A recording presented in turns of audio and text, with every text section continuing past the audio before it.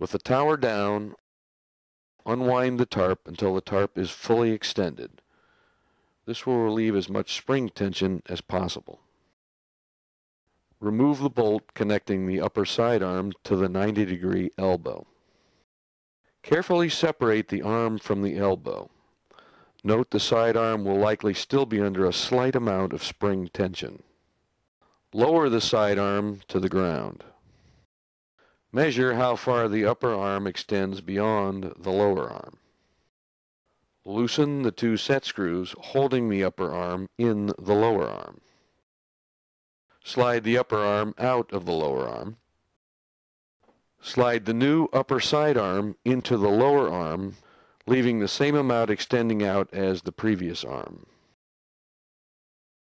Tighten the two set screws until they are snug plus 3 quarters of a turn.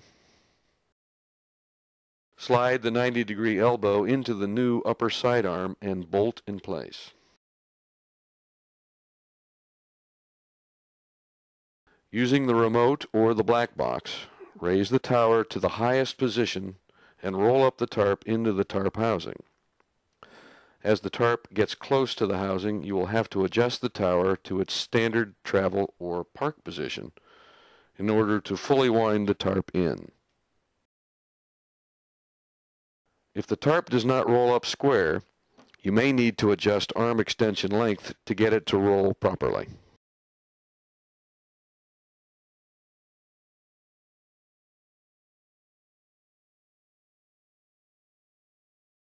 The installation is now complete.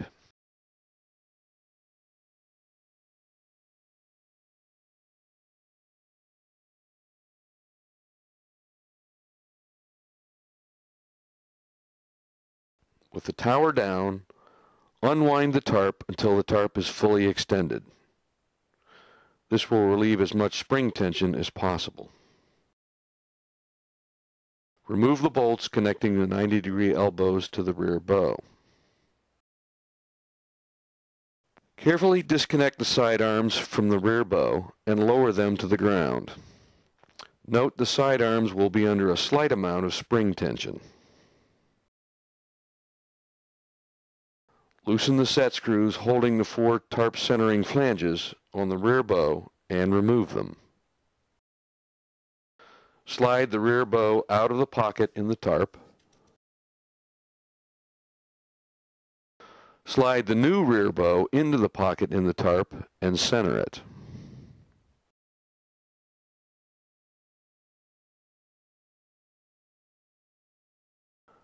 Slide the tarp centering flanges back onto the rear bow. Reconnect the 90 degree elbows back into the ends of the rear bow and bolt in place.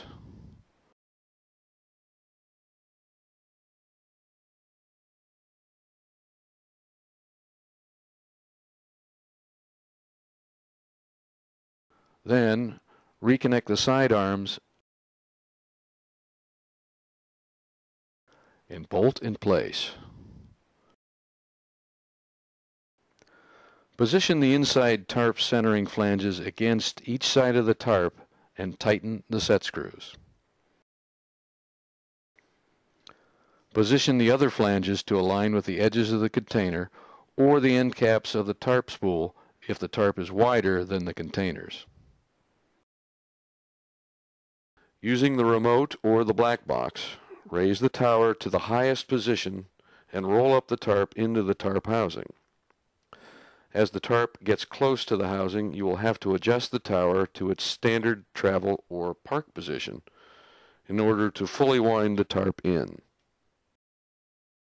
The installation is now complete.